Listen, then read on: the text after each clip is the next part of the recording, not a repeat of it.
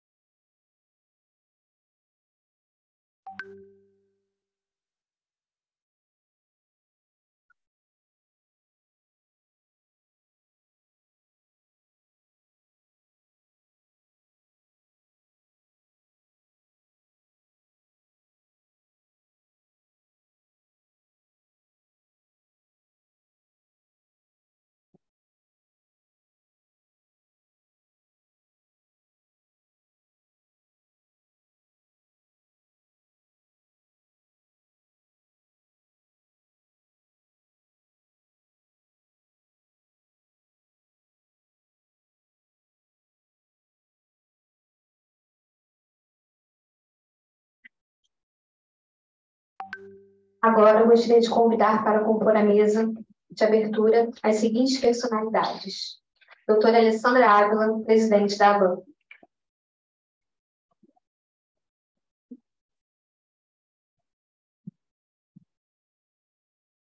Doutora Ana Tereza Basílio, vice-presidente da OAB-RJ.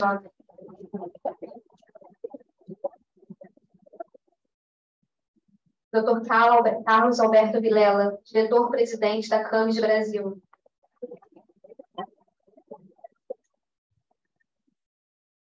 Dr. Marcos Iúlio, coordenador regional da Escola CAMES.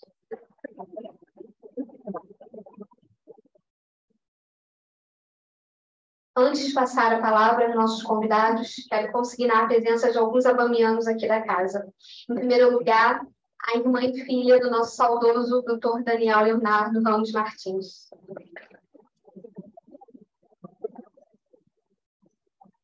Os nossos diretores Emílio Silva, Daniela Catanema, Melina Luna e Haroldo Lourenço.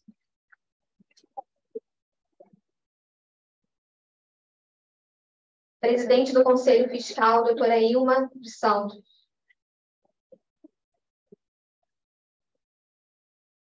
Os conselheiros Fernando Florentino, João Fernandes Filhos e Leandro Sender. O nosso querido ex-presidente e atual conselheiro nato, doutor Sidney Seixas de Santana.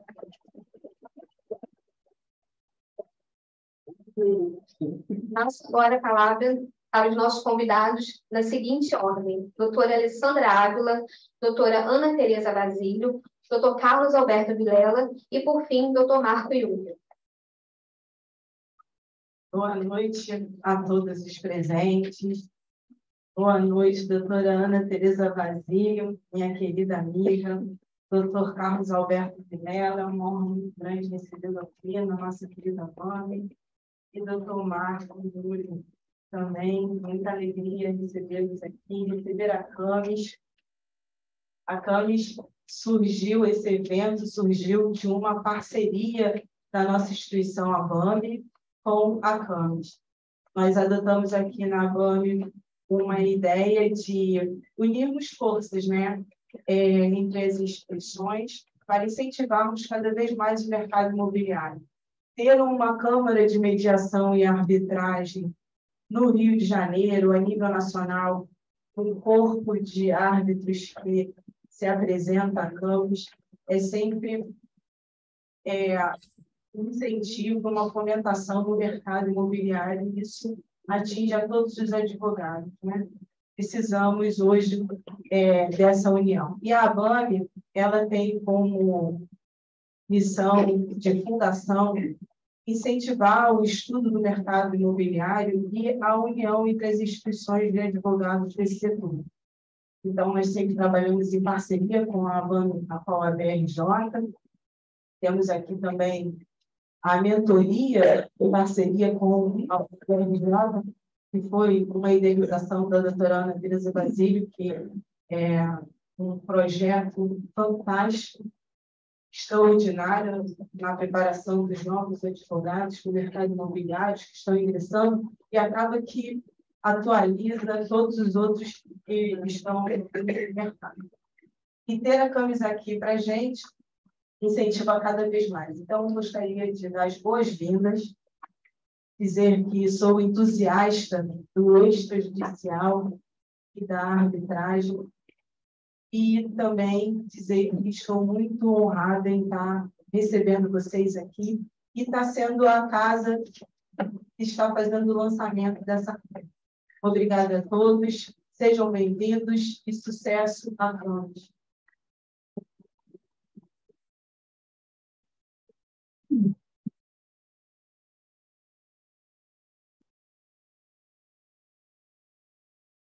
noite. Boa noite a todos e todas. Boa noite a todos e todas. É uma alegria imensa aqui nessa casa. E é uma casa muito especial, uma casa que está no coração de cada advogado do nosso Estado, sobretudo da área imobiliária. Eu queria saudar todos os queridos amigos da Abano, na pessoa da nossa maravilhosa presidente, Alessandra Ávila, e veio para contribuir já na gestão do Sidney, que foi fantástica, e agora complementando com uma gestão maravilhosa também. Fica muito claro de se ver como a banda está forte com esse plenário cheio de amigos, de grandes advogados, de grandes representantes da advocacia do nosso Estado e de São Paulo também. Né? Eu também queria cumprimentar o, o Carlos Alberto de Della, que é o CEO da CAMES, o Marco e Júlio, também da CAMES, e também desejar, pela, da Ordem dos Advogados do Brasil, desejar que a CAMES é, seja muito bem sucedida no nosso Estado, ela é muito bem-vinda. É, tanto a mediação quanto a arbitragem são institutos que cada vez mais fazem parte da cultura jurídica nacional, são institutos que viraram política pública do CNJ, do Poder Judiciário, e a advocacia cada vez mais faz uso dessas ferramentas de trabalho importantíssimas que agregam muito à nossa atividade. E na área imobiliária, então, nós temos um espaço ainda imenso para ocupar com mediação e arbitragem. A gente já fez aqui na BAM vários eventos em conjunto OAB e a BAM sobre mediação e arbitragem.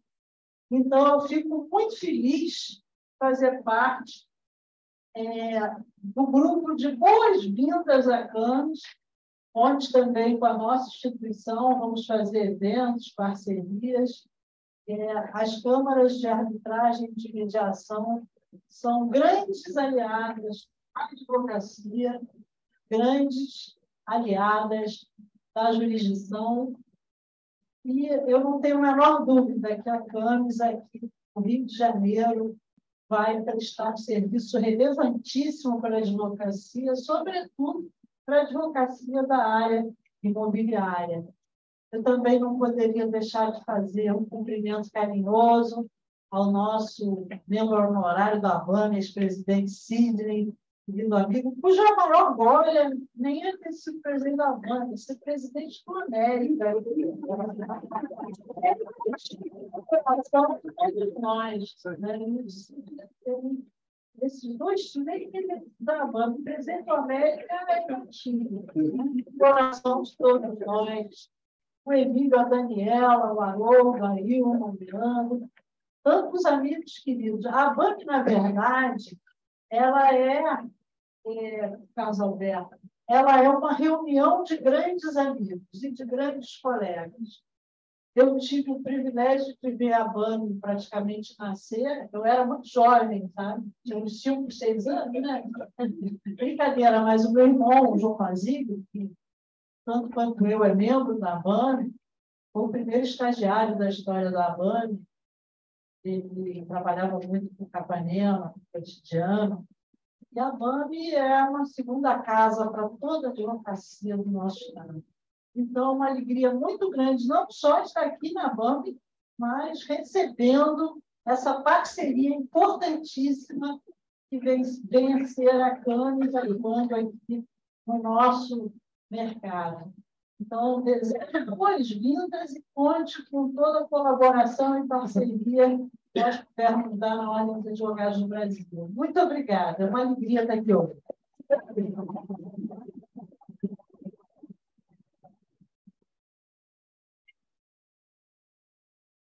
Boa noite, é uma alegria para nós, Camis, é, nessa oportunidade aqui no Rio de Janeiro, ouvir essas palavras da presidente da doutora Alessandra, da vice-presidente da OAB, doutora Ana Coleza, é um prazer. Já me sinto aqui como alguém de casa. Com essas palavras tão carinhosas de acolhimento, o Rio de Janeiro tem bem proporcionado a Camis esse sentimento agradável de ser, sermos acolhidos. Então, de fato, é uma satisfação muito grande para nós aqui é, estarmos nessa noite.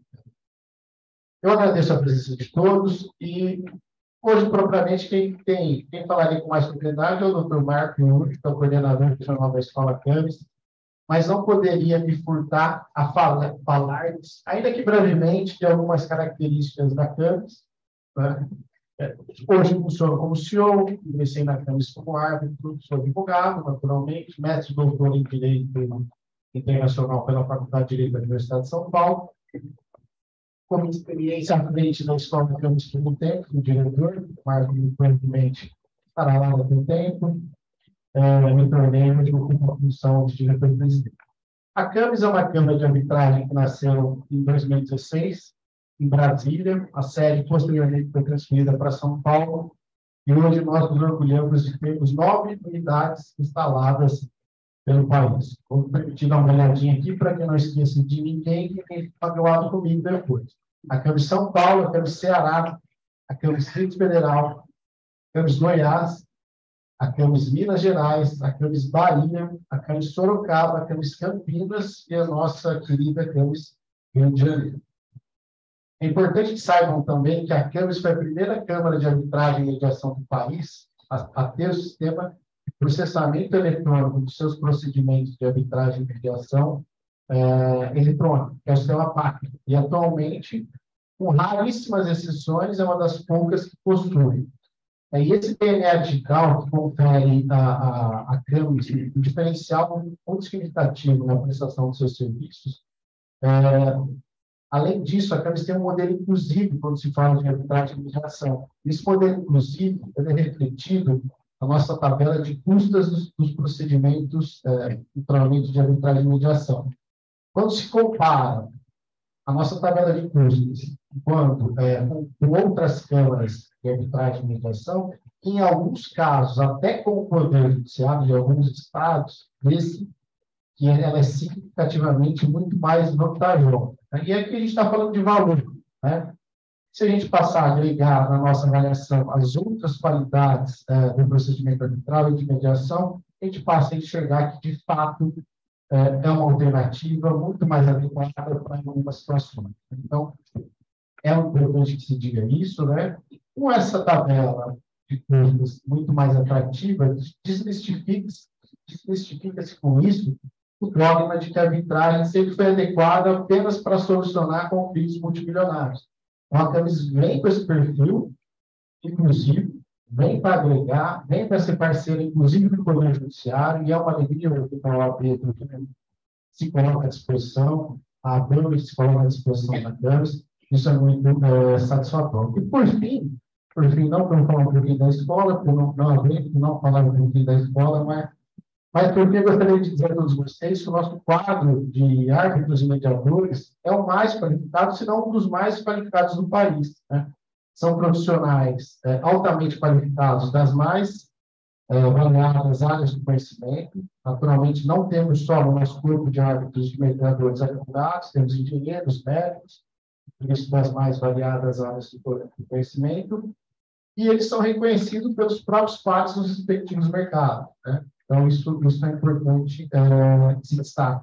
Importante destacar também que, a nosso, que o nosso quadro de árbitros não é fechado. Quer dizer com isso? Pode-se é, se instalar um procedimento de arbitragem. E uma das partes, talvez, não se sinta confortável com os árbitros da nossa lista de árbitros. É possível que ela indique alguém externo ao nosso quadro. Né?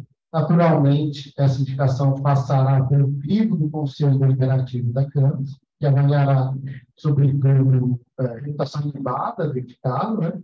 mas a gente, com isso, a gente demonstra que nós não somos uma entidade fechada. A gente acorda, mesmo quem não está no nosso quadro de É, é importante dizer isso. Né? A maioria das câmaras não são assim. Então, assim, é um, é um é um destaque relevante que eu costumo, costumo trazer para todos vocês. Bom, para além dessa atividade principal de administração de procedimento de arbitragem e mediação, Campos tem escola Campos. O objetivo é promover conhecimento, difundir conhecimento e uh, disseminar a cultura uh, dos métodos adequados de solução de conflitos. Em grande medida, é isso, é isso que dá razão a esse nosso encontro de hoje.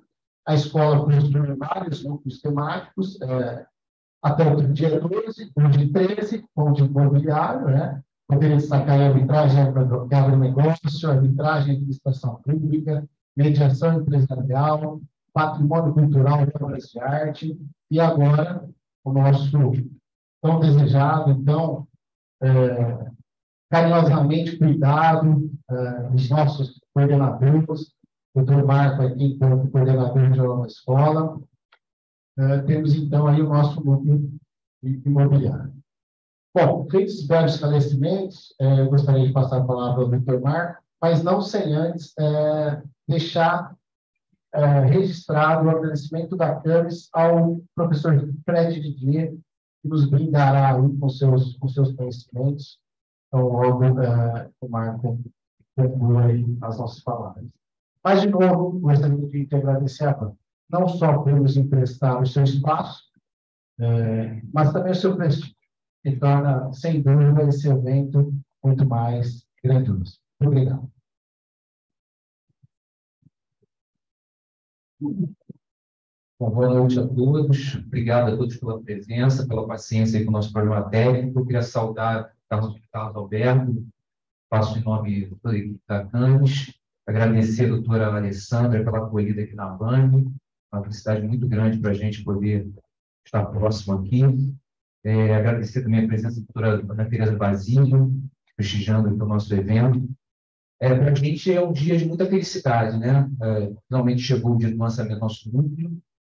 Eu, apesar de ser um dia de muita, muita felicidade, não podia deixar de registrar aqui mais uma vez é, os nossos sinceros sentimentos à BANG com relação ao doutor Daniel, é, eu, particularmente, com o Gabriel, que é um dos coordenadores do grupo que a gente teve participando com o doutor Daniel do último trabalho dele é, aqui na BANME, que foi a gravação do podcast, que foi o ar Então, a gente realmente gostaria de deixar mais uma vez registrado os nossos sentimentos. Né?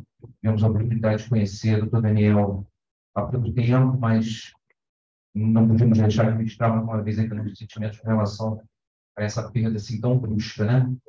Bom, gente, mas assim, finalmente chegou o nosso dia, nosso tão esperado dia, né, do lançamento do nosso núcleo. O núcleo, é, ele, ele nasceu, na verdade, com uma vocação já nacional, né? Ele, ele decorrente cinco anos, realizamos aqui no ano passado, em novembro, É, e de lá para cá, é, trabalhamos assim, incansavelmente para construir um que é o maior grupo da CAMES, né? 48 membros, entre mediadores e árbitros especializados na matéria do mercado imobiliário. Né? E qual é o nosso núcleo? Justamente trazer o mercado imobiliário, justamente tudo é, que já é diferencial da CAMES. Né? E aí o, o, o caso Alberto já falou, é, a questão do processo eletrônico, né, do nosso sistema né, enfim, é, nossos procedimentos todos é, é, é, de forma online, a gente não tem tramitação de autos em papel, né, a nossa tabela de custos também, que é um diferencial da, da, da, da Câmara, e principalmente essa capilaridade, né, que a gente só ampliando, né, se a gente for mencionar aí, a gente tem é, especificamente no imobiliário, o caso que falou a respeito dos outros núcleos que a gente já tinha constituídos, são 12, né? O imobiliário é o 13 terceiro, que está lançando agora. A gente tem árbitros mediadores praticamente em todos os estados do Brasil. Né? Isso para a gente é um motivo de muito orgulho. Ah, nós contamos aí com uma equipe de seis coordenadores também, três no Rio, e, três fora do Rio. Né? O grupo, na verdade, nasceu no Rio, mas foi uma dimensão nacional. Temos uh, um, um coordenador em São Paulo, na Bahia também e Santa Catarina.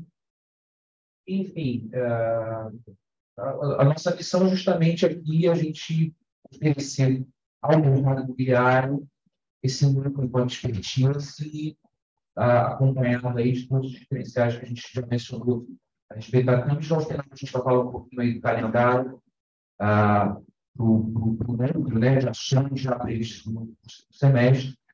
E queria mais, mais alguma vez agradecer a presença de todos que nos acompanham, inclusive online. Eu para cá a gente chamar o professor Paquete.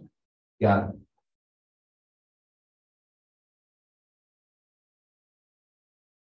Agradeço os nossos convidados e peço a gentileza de retornar ao reservado, porque vamos receber o convidado da noite, né, para a palestra, Dr. Fred Didier, de forma online.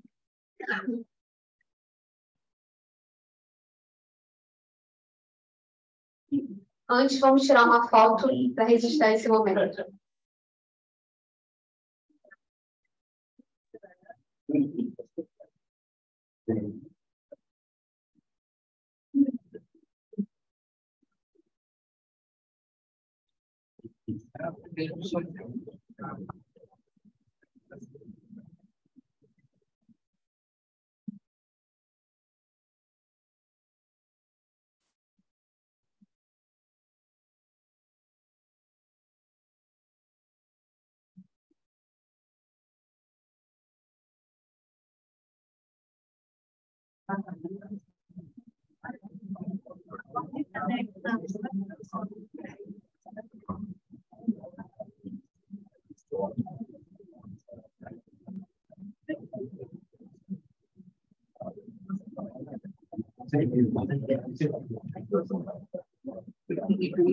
O professor Fred Didier falará sobre sistemas multiportas. Ele é coordenador do curso de pós-graduação em Direito Processual e Civil da LFG Anhanguera, Unidep. Livre docente pela USP, pós-doutorado pela Universidade, pela Universidade de Lisboa, doutor pela PUC São Paulo e mestre pela UFBA. Professor titular de Direito Processual Civil na Universidade Federal da Bahia.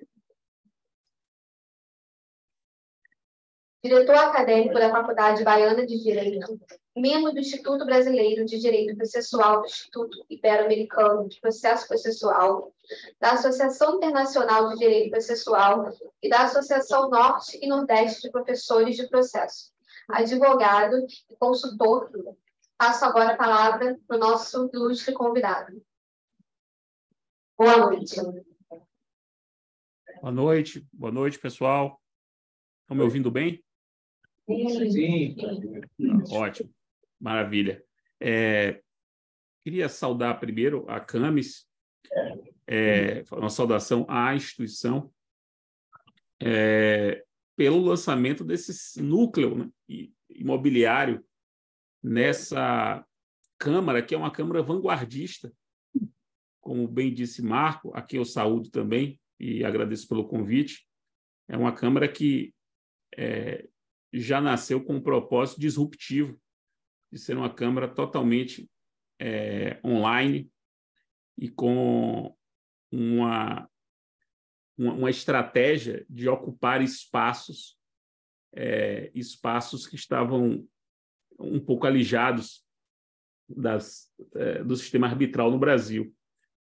É, e para mim, portanto, fica muito é, é muito honroso para mim ter sido é, convidado para fazer a palestra de abertura desse momento, que é um momento muito importante. É, e essa importância é simbolizada pela presença da ABAME né, como, como é, anfitriã, como anfitriã e, e chanceladora desse belo movimento e importante movimento que a Camis fez e está fazendo.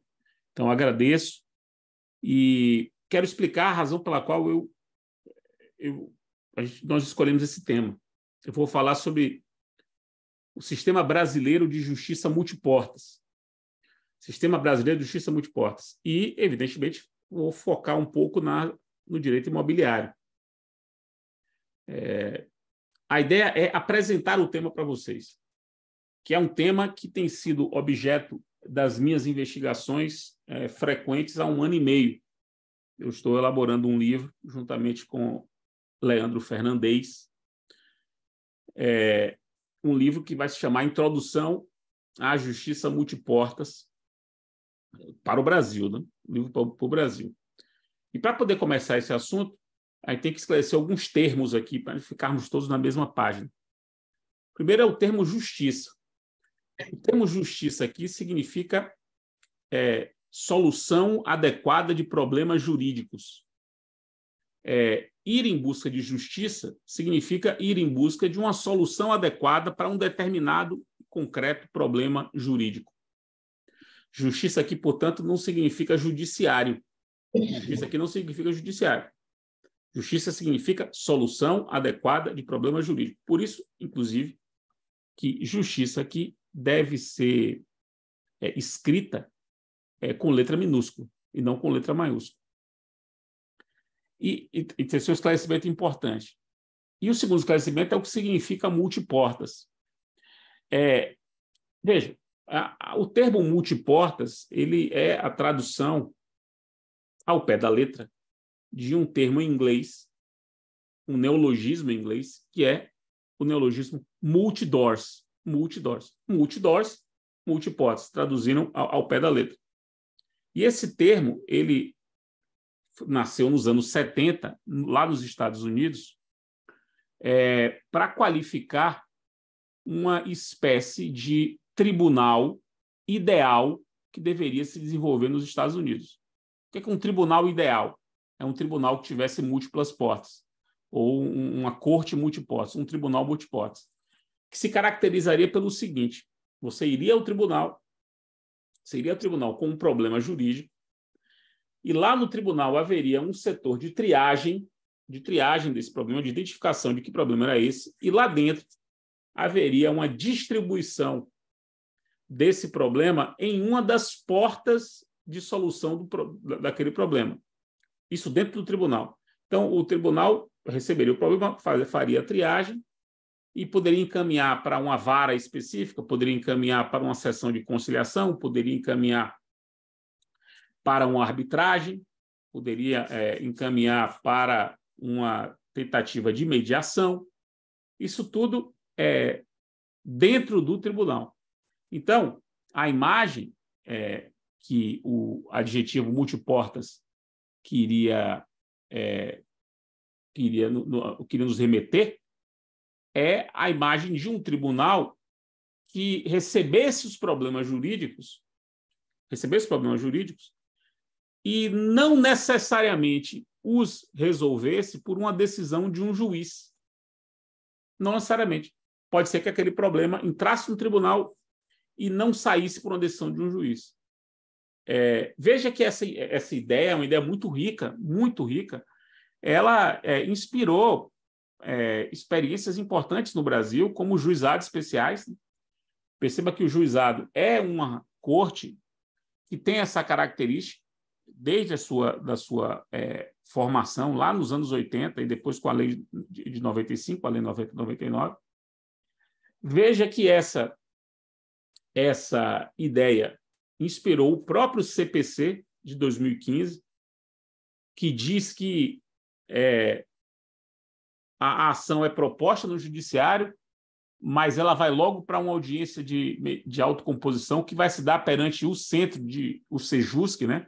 O Centro Judiciário de Solução de Conflitos, que é um, um, uma, como se fosse outra porta dentro do judiciário. Perceba que isso tudo segue essa ideia dos anos 70 lá dos Estados Unidos. Pois bem, mas vejam que na minha palestra eu não uso o termo tribunal multiportas, eu uso justiça multiportas. Por quê? Porque, embora a ideia de tribunal multiporta seja ideia ótima, e esse adjetivo seja ótimo, me parece que o sistema brasileiro é, é um sistema em que existem múltiplas portas de acesso à justiça, sendo que o tribunal é apenas uma dessas portas, uma dessas portas, e não a única porta pela qual que você deve atravessar para lá dentro obter a redistribuição. Não, no sistema brasileiro, é, a gente está. É, é como se a gente estivesse numa praça, e aqui é uma imagem que eu estou usando, é como se a gente estivesse numa praça, e nessa praça houvesse várias portas, todas elas portas é, que permitem o acesso à justiça, ou seja, o acesso à solução de problemas jurídicos de modo adequado. Uma dessas portas é o judiciário. A outra é uma Câmara de Arbitragem. A CAMES é uma dessas portas. A CAMES não está dentro do Judiciário. A CAMES está num espaço público, imaginário, né? Isso é uma imagem, no espaço público imaginário, à disposição, portanto, de todos, por isso é um espaço público, oferecendo um modo de solução de problemas jurídicos. Ao lado da CAMES, há outras tantas câmaras de arbitragem, há as serventias extrajudiciais, há as agências reguladoras, há os escritórios é, de prática jurídica das faculdades de direito, há os tribunais administrativos, como o Tribunal de Contas, como o Tribunal de Contribuintes, o CARF, o Tribunal Marítimo, aí no Rio de Janeiro. Perceba que to Todas essas portas são portas de solução de problemas jurídicos. Elas não estão dentro do tribunal, elas estão no espaço público. E por isso me parece que é mais, mais interessante falar em é, justiça multiportas do que tribunal multiportas. Seja, justiça multiportas é uma justiça, portanto, uma solução de problemas jurídicos que pode ser acessada por múltiplas portas. Essas portas, essas portas, elas é, interagem. Elas não são é, isoladas, ainda nessa, na imagem que eu estou é, é, passando para vocês, imagine que você existem essas portas, você atravessa essas portas e lá dentro tem um caminho que vai lhe levar para a solução do problema jurídico. Um, um conjunto de, de, de, de, de passos que você vai ter que adotar para que o problema jurídico é, seja resolvido, portanto, a justiça seja alcançada. Esses caminhos que se formam a partir do momento que você atravessa uma dessas portas, esses caminhos se entrelaçam. Esses caminhos se entrelaçam. Eles interagem, eles dialogam entre si. E, quer dizer, embora haja várias portas de entrada, é, pode ser que essas portas elas, é, elas é, acabem convergindo, acabem convergindo e dialogando entre si para facilitar que a, a, saída do problema, né? E a saída é sempre a saída com a solução do problema jurídico. Pois bem, o, o Brasil desenvolveu um sistema de justiça multiportas muito complexo. Complexo aqui não no sentido de ser difícil. Não é que é difícil, complexo aqui em outro sentido.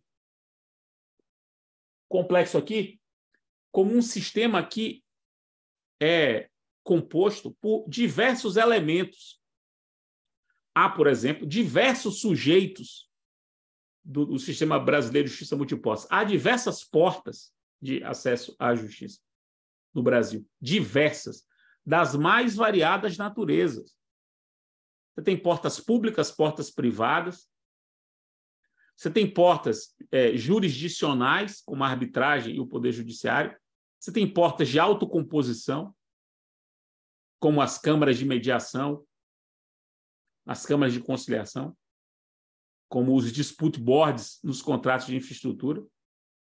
E você ainda tem portas de autotutela, como a execução extrajudicial, que é uma forma de resolver problemas jurídicos extrajudicial e com autotutela. Com autotutela. É, percebe, então, que a gente tem uma variedade de portas e, portanto, uma variedade de sujeitos, uma variedade de métodos para a solução de problemas jurídicos. É, o que faz com que nosso sistema seja um sistema complexo e seja um sistema em permanente em permanente expansão. Isso é uma característica também importante. Por que, é um sistema em permanente expansão? Porque sempre é possível, sempre é possível, criar novas portas e criar novos caminhos, ou, ou, ou fazer novas encruzilhadas entre as portas. O que, é que eu quero dizer com isso? É sempre possível, no Brasil, criar formas de interação entre as portas criar novas portas, criar novas, novos caminhos a serem observados, no, novos, é, novos procedimentos, né? não só novas portas, como os novos procedimentos e novas interações entre as portas. Isso tudo é possível. E, e, e acontece é, permanentemente, é, mesmo que a gente não perceba. Vejam vocês que os comitês de solução de disputa, os dispute boards, eles nasceram sem previsão legal expressa. Nasceram a partir do desenvolvimento da autonomia da vontade em contratos de infraestrutura. Portanto, nasceu a partir da criatividade dos operadores do direito que, ao elaborarem contratos de infraestrutura e perceberem que aqueles contratos é, exigem um tipo de é, modo de solução de problema jurídico bem peculiar, desenvolveram os comitês de solução de disputa Portanto, a margem de previsão expressa da lei, mas dentro da, de acordo com o ordenamento jurídico, porque, porque a, é possível celebrar é, contratos atípicos, né? Cláusulas é, contratuais podem ser atípicas, e esse era um caso. É, somente recentemente, com a nova lei de licitações e contratos administrativos, é que os comitês de solução de disputa foram agora expressamente previstos em contratos é, administrativos é, de longa duração. Né? Eu estou dando esse exemplo para mostrar como o sistema ele vive em permanente expansão. Eu fui chamado, meus caros, para fazer uma palestra daqui a duas semanas é, com um tema que eu eu aceitei pelo desafio intelectual de ter que estudar isso. Porque, veja, quando eu recebi o tema, eu tomei um susto. Nem sabia que isso existia. O tema é tokenização, tokenização e direito imobiliário e serventias extrajudiciais. Dizer, de que modo a tokenização, esse é, fenômeno da tecnologia, né? esse, esse tipo de ativo que você pode adquirir, ou esse criptoativo, é, ou um ativo digital que você pode adquirir, isso impacta nas serventias. Eu nem sabia que esse problema existia. Aí eu fui estudar e, e já percebi, por exemplo, que o Tribunal do Rio Grande do Sul já até baixou um ato para disciplinar isso porque por conta da tokenização, é, negócios imobiliários estavam sendo feitos, é, negócios sobre imóveis, que você negociava direitos sobre o imóvel sem negociar a, a matrícula do imóvel. Portanto, não, sem impactar na transferência do domínio, você negociava com ativos é, digitais, com ativos digitais, negócios sobre aquele imóvel. E você negocia tudo na nuvem, por meio, de, por meio da blockchain, por exemplo. E, e, o susto que isso causou no sistema imobiliário, que é um sistema rígido, é, é, que um sistema que é, foi. Nós todos somos preparados para compreendê-lo a partir de premissas de legalidade estrita, de inflexibilidade, tudo tem que estar previsto na lei. E aí eu comecei a perceber, a partir dessa, desse estudo, dessa reflexão, eu comecei a refletir sobre isso, comecei a perceber um fenômeno que eu já estava percebendo e já conversava, inclusive, com Laiana, minha sócia, que está aqui também presencialmente, é, que é um fenômeno curioso, que é o seguinte: como o nosso sistema brasileiro hoje, que é um sistema aberto, esse que eu falei, nosso sistema de solução de, de problemas jurídicos é tão aberto e tão é, apto a se, a se desenvolver organicamente, como os cartórios, na parte de direito imobiliário, estão, é, é, estão sendo utilizados como um espaço de exercício dessa criatividade jurídica para descobrir novas formas de é, resolver problemas jurídicos, para além da legalidade estrita da lei de registros públicos. E aí você cria esse, esses direitos imobiliários, é, o imóvel, que é aquela ideia de concretude, né, de algo que você pisa e vê, no mundo virtual, sem alteração de matrícula. É, é, isso é um exemplo dessa de que as coisas estão acontecendo à margem de uma teoria que lhes dê suporte, mas acontece pela percepção dos operadores de que aquilo é bom e de que aquilo é lícito e que vale a pena, portanto, experimentar. Então, esse espaço de criatividade. E esse espaço de criatividade que a tecnologia acaba eh, oferecendo, que as múltiplas portas de acesso à justiça acabam oferecendo, que as ferramentas legais acabam oferecendo. Você, você pense no seguinte: ó, você tem múltiplas portas, múltiplas portas, então, múltiplas possibilidades de buscar a solução do problema jurídico. Ao lado disso, você tem o desenvolvimento absurdo da tecnologia, que é, um, um que é uma, uma ferramenta. É, imagine, uma, uma, tecnologia que você pode é, customizar com muitas possibilidades de, de, de flexibilização, com múltiplas portas. Você tem uma tecnologia muito adaptável, uma, uma ferramenta muito adaptável, que é a tecnologia, são as, as, tecnologias digitais, com múltiplos espaços de dissolução de problema jurídico, como acontece no Brasil. E, além disso, você tem uma estrutura é, normativa que permite tudo isso. Por exemplo, se a gente olhar para o CPC, é, o CPC permite que você crie negócios processuais, que, no fim das contas, são negócios sobre os modos de solução dos problemas jurídicos. Então, é, é possível criar qualquer tipo de negócio é, envolvendo o modo de solução do problema jurídico. Nós temos várias portas em que os problemas jurídicos podem ser resolvidos. E nós temos uma tecnologia, um, um, um avanço da tecnologia de tal maneira que permite, quer dizer, são, são, são insumos, né? são ingredientes que fazem com que esse sistema nosso seja um sistema em permanente expansão sem um planejamento prévio. Então, é, veja essas duas características. É, é, permanente expansão, abertura gigantesca do sistema, abertura quanto às formas, quanto às portas, quanto aos sujeitos, quanto aos métodos, e uma auto-organização, ou seja, um desenvolvimento do sistema, independentemente de uma prévia programação. Imagine tudo isso, imagine esse caldo de ingredientes no mercado imobiliário. Imagine tudo isso para a solução de. Imagine tudo isso perante uma Câmara, como a Camis, que já nasceu com a perspectiva de ser um espaço disruptivo que oferece é, é, soluções ou modos criativos de solução de problemas jurídicos, ou modos não convencionais. É, isso é muito, é muito grande, meus caros, é, é, é muito impactante, muito impactante.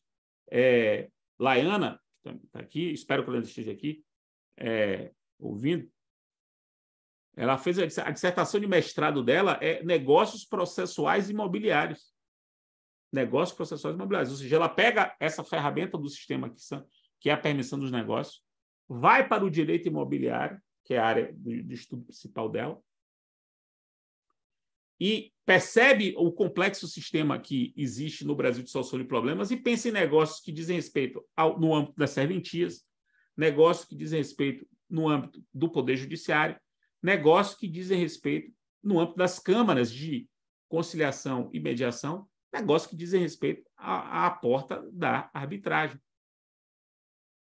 Pensar um sistema de justiça multiportas para o Brasil é pensar a partir dessas grandes características do nosso sistema.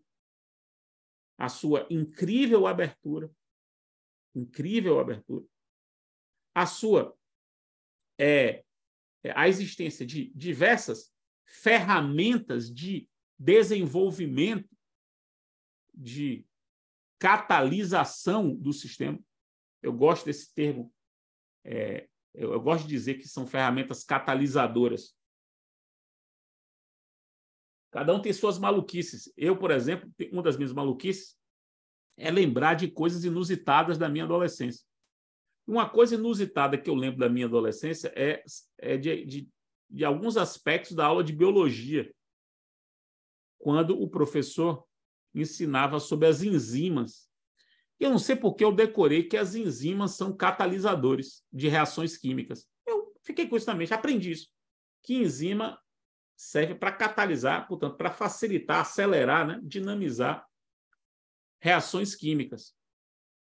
É, por isso que é muito importante estar com as enzimas é, bem em dia, para que as suas reações é, químicas do seu corpo é, ocorram com é, eficiência.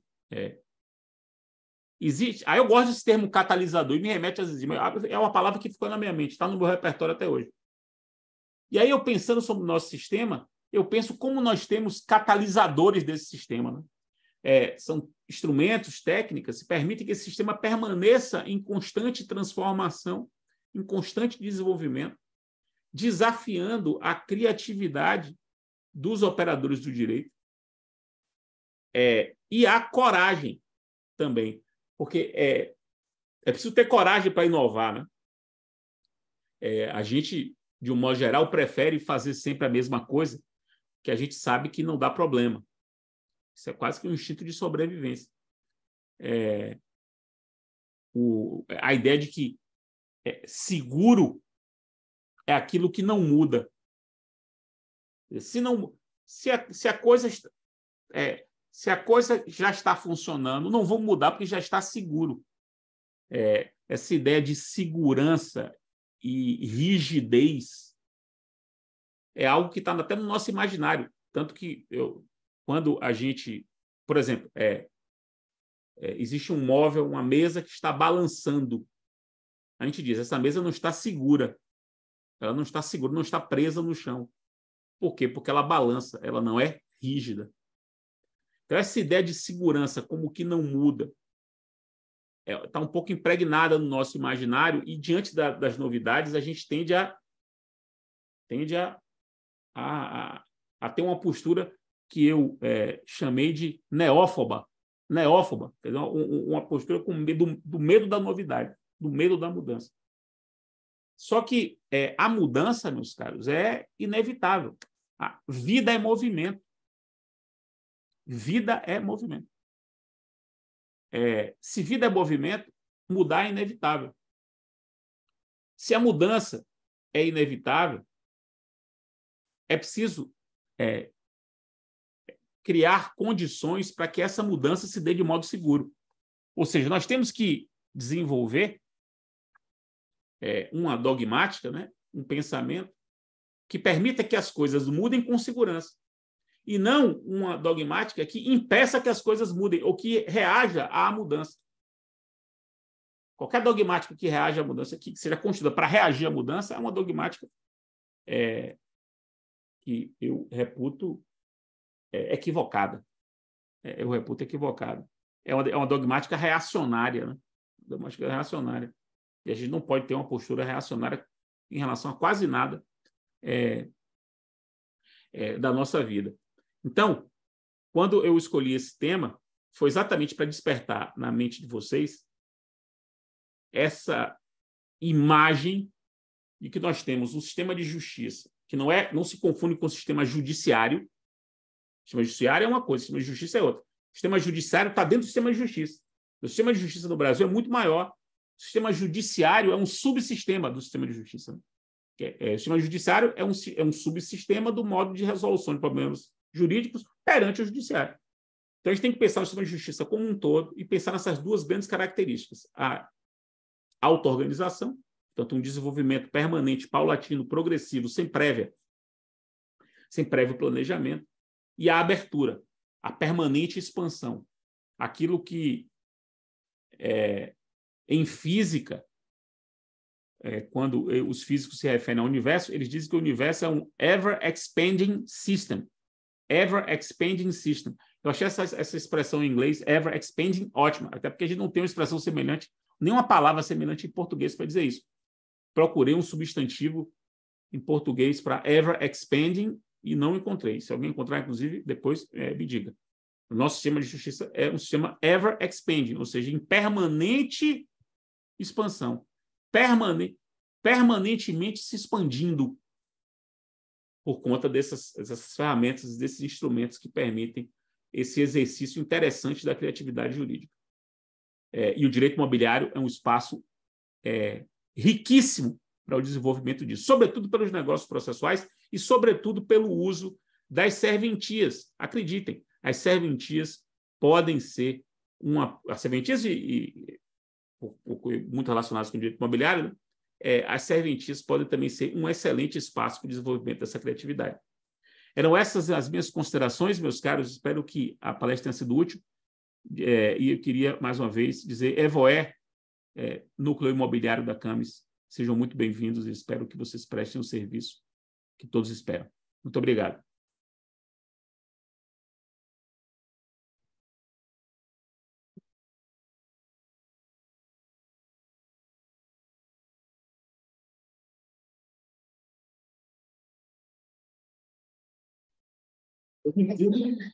Professor Fred, agradecemos a sua brilhante palestra, não só em nome da CAMD, mas também da ABAMI.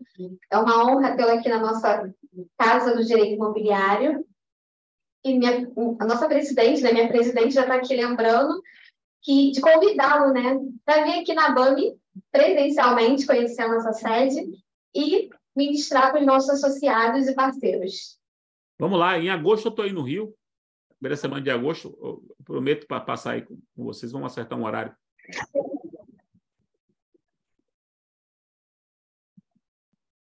Será muito bem-vindo e já está marcado, né, doutora Alessandra? Ela informou do seu dia. Vamos acertar. Na primeira semana de, de agosto. É, menos é, é, segunda e terça, na primeira semana de agosto. Eu não vou poder nem quarta, nem quinta, nem sexta, mas segunda e terça eu posso. A gente marca um horário e. Então, em nome da Vamos, nós agendada a primeira terça-feira. Depois mandem, mandem uma mensagem para mim para a gente acertar o horário. Está ótimo. Muito obrigada.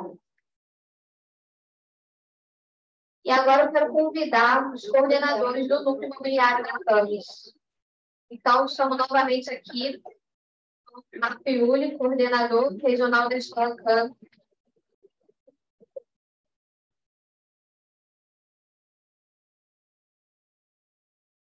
Gente só vai aqui arrumar a mesa, mas eu já, já chamo também, novamente, o doutor Carlos Alberto Vilela, CEO da CAMES. É.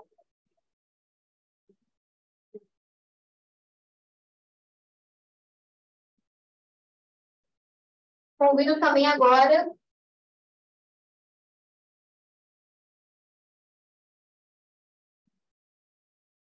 E agora chamo aqui os nossos coordenadores da noite.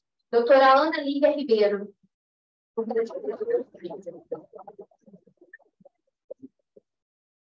Doutora Ana é árbitra, advogada, mente em Direito Político e Econômico pela Universidade Presbiteriana Mackenzie especialista em direito notarial e registral imobiliário pela Escola Paulista de Direito, EPD. Especialista em direito imobiliário empresarial pela Universidade de Secov. Presidente especial de Direito Imobiliário da UAB São Paulo. Presidente da Comissão Permanente da Advocacia Assalariada e vice-presidente imobiliário da UAB São Paulo. todas essas para o triênio 2019 e 2021. Conselheira seccional também nesse triênio da OAB São Paulo. Integrante do coletivo independente de advogadas e advogados negras e negros desde 2018. Sócia fundadora do escritório Ana Lívia Ribeiro de Advocacia. Convido também agora o doutor Gabriel de Brito Silva.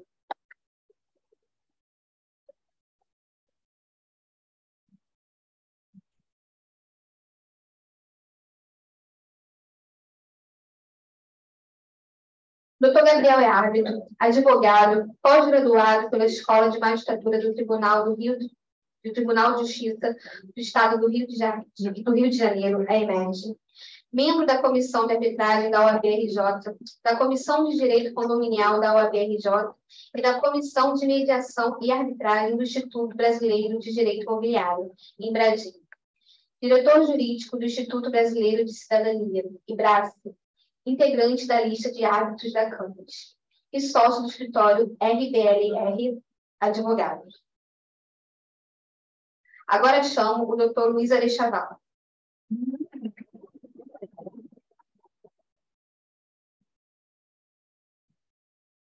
Doutor Luiz é árbitro, advogado, vice-presidente da Comissão de Direito Condominial da ABA, Rio de Janeiro, membro da Comissão Especial de Direito Urbanístico imobiliário da OAB-RJ, integrante da lista de árbitros da CAMES, sócio do escritório Arechavala Advogados. E para fechar a mesa, chamo o Dr. Ronaldo Gaudio, diretor executivo da CAMES Rio.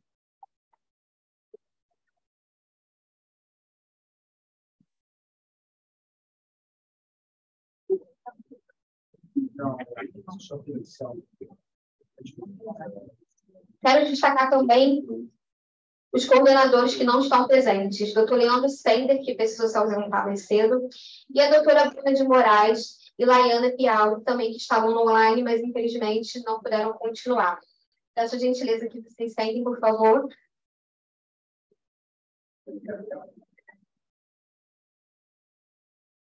Ah. A gente vai colocar aqui mais uma cadeira, só um momentinho. Mas já convido aqui o doutor Gabriel para iniciar, por gentileza. Boa noite a todos. Muito feliz de estar aqui, realmente, nesse auditório cheio. E aí o pessoal online, eu tenho, não tenho tantos seguidores assim no Instagram, nem, nem LinkedIn, mas meus 500 aí mandei mensagem para cada um individualmente. LinkedIn, mil, falei com os mil individualmente, convocando, a convocação, né? Estou muito feliz de estar aqui na BAN. Não sei se a Fátima Santoro está aqui, acho que não, né, Alessandra? Mas conheci a BAN pela Fátima Santoro. É, é de uma energia muito impactante estar aqui. Realmente eu fico emocionado. Chega ali na frente, o, o Silvio Capanema presente, né? Tive recentemente um poeta do Tribunal de Justiça, no lançamento do livro sobre comentários ao lei do inquilinato, né? Então, estava como organizadores o desembargador Edson mandei um e-mail para o desembargador tem que estar aqui na BAN, tem que estar no lançamento. Mas ele falou, olha, Gabriel, eu estou em merecidas férias, mas no próximo evento pode contar comigo que eu estarei presente. Né? Fábio, Fábio Azevedo também, e pedi autógrafo. Porém, o autógrafo que me, me mais fez feliz ou da Fátima Santoro, que estava lá também no lançamento. Então, fica aqui minha homenagem.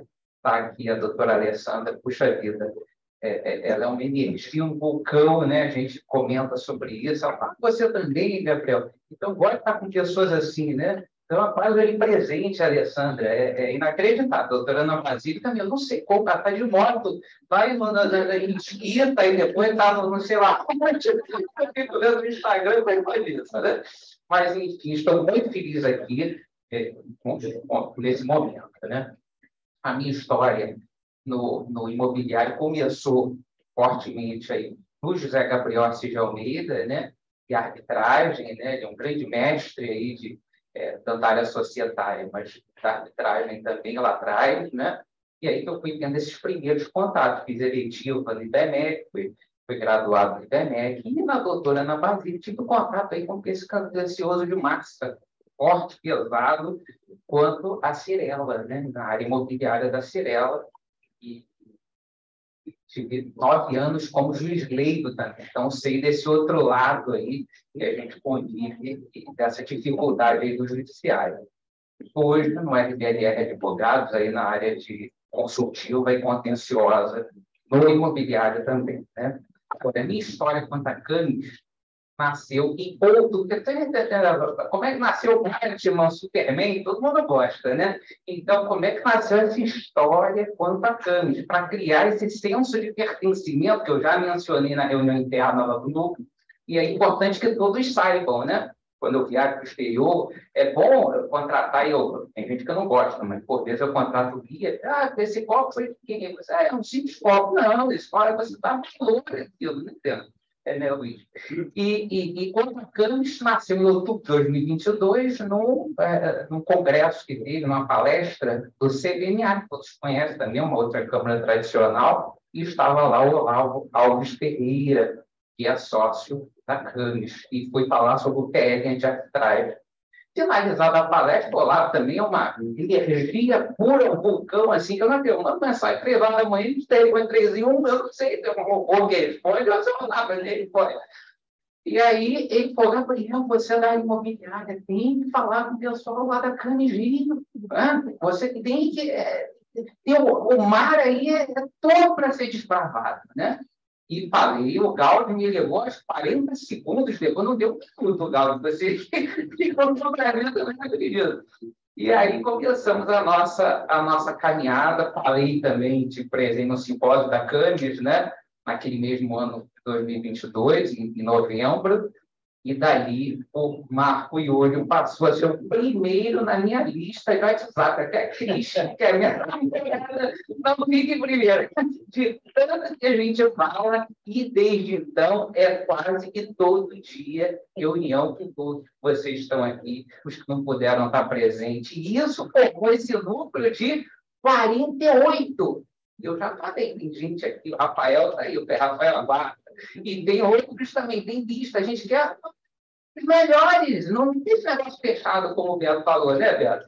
E, e, e a gente precisa, porque o problema, crise que a arbitragem está passando hoje, iniciou com as carteiradas de juiz lá no passado, ele já virou passado, né? E depois a gente é um segundo na CCI, a Corte Internacional. O Brasil está em segundo momento. 55 bilhões movimentou no ano passado. Segundo a professora Selma Leme, uma das faz esse estudo anualmente. 18 meses é a tramitação dos processos de arbitragem. Nem o tem isso. Né? Agora, qual o problema? A crise, esse fechamento. Então, a gente precisa abrir a porta. A gente está falando aqui na BANI, a gente não tem que ficar falando no rooftop de tal lugar. A gente que a praça, está arraigada a Paula. Também todo dia eu falo com a Paula. Ela fala, Pô, Gabriel, isso aí tem que ser a regra. Né? E para o nosso mercado é muito importante. Não tem que falar para o imobiliário é, sem, sem falar no extrajudicial e dentro do extrajudicial. Tá, tá, tá, tá, tá o viés aí da, da arbitragem. A gente começa aí com com, com, a separação, com o divórcio, depois com o inventário, a adjudicação compulsória, é, é, é, despejo extrajudicial, já tem um PL, já, enfim. E até tem uma, tem uma advogada muito famosa aí nas redes sociais, não posso falar o nome dela, não é advogada, não, enfim, a celebridade do imobiliário. E eu falei, ah, pergunte aqui, tem aqui no Instagram, me pergunta. Aí eu perguntei, doutora, pode a adjudicação compulsória e pode o campeão na via arbitral? Você que ela respondeu? Eu estou até gravada, ela gostou disso. Ela paga umas 24 horas, né? Olha, advogado sempre querendo arrumar jeitinho. Ela falou isso. Aí eu falei, que que é isso, gente? Ela não sabe. O que eu quero falar aqui, Alessandra, essa resistência, fruto do desconhecimento. Porque ela falou uma coisa que ela não sabe que a arbitragem é jurisdição privada. Quando o árbitro afirma a sentença, ele não é um título executivo judicial, é extrajudicial, é um título executivo judicial. E ela falou, só que ela ainda foi bem. Ela falou assim, ah, mas o CNJ regulou para os católicos, tem nada a ver. Então, quer dizer, ela está comparando a arbitragem com o histórico, não existe isso. Né? Então, é muito importante que haja esse aculturamento, essa informação. Eu tive arbitragem, como ele IBMEC, todo mundo, ó, oh, IBMEC, é Nutella, não sei lá o que, eu fiz por, por, por como é que é bolsa, porque eu sempre estava entre os melhores alunos, sabe? Esse meu pai não podia pagar, mas é dito como societário, empresarial, essa coisa toda, e é eletiva. A Uniri está começando agora a equipe de arbitragem, né? A FGV já está mais desenvolvida. Então, é importante ter isso. O, o CBNA, não sei se tem, alguém assistindo aqui, boa, tem o Comitê dos Jovens, mas o Comitê dos Jovens tem 30 anos. Que, que jovem é esse? 30 anos é jovem. Então, precisa estar na graduação, pensar lá embaixo, porque senão a gente fica fechado. A gente tem que expandir, e para isso tem que ter a tal da informação rompendo essa resistência.